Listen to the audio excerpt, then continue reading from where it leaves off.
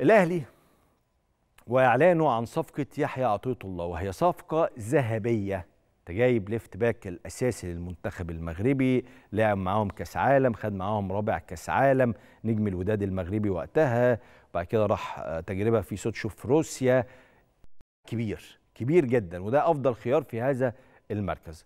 بالمناسبة يحيى عطية الله كان ورقة بعدت عن النادي الأهلي والنادي الأهلي كان خلاص هيصرف النظر عن يحيى عطية الله. تدخل مين بقى؟ تدخل دينو لامبرتي ده وكيل أعمال مارسيل كولر في هذه الصفقة ولعب دور مهم جدا في إقناع نادي سوتشي الروسي بالموافقة على انتقال اللاعب للنادي الأهلي. بعدها تحرك أمير التوفيق ووضع الرتوش الأخيرة والنهائية والتامة في هذه الصفقة عشان تتم بشكل قد يبدو مفاجئ للجماهير المصرية بعد ما كنا تصورنا جميعا إنه الأمور انتهت. هات لي الصورة دي تاني هنا.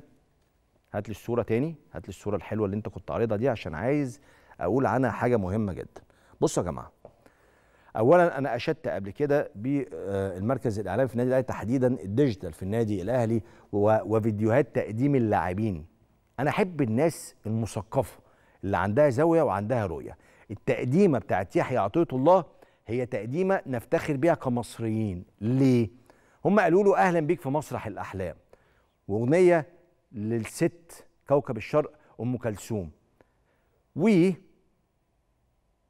بص على الصور هتلاقي عظماء مصر عظماء مصر اللي عيني هتيجي عليهم يعني مع حفظ الألقاب كلهم. محمود عبد العزيز أحمد زكي طبعا الكابتن محمود الخطيب طبعا الكابتن صالح سليم هتلاقي فريد شوقي هتلاقي أم كلثوم هتلاقي صلاح السعدني هتلاقي عبده صالح الوحش هتلاقي كل الأسماء العظيمة في مصر. وعادل إمام وإكرامي كل الأسماء العظيمة اللي جت في مصر. هذه هي القوة الناعمة.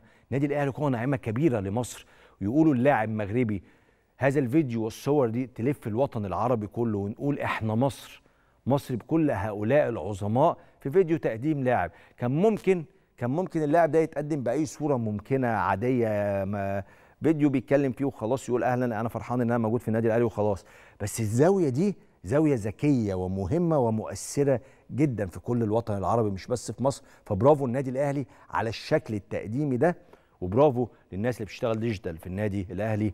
أذكياء creative مبتكرين رائعين جدا.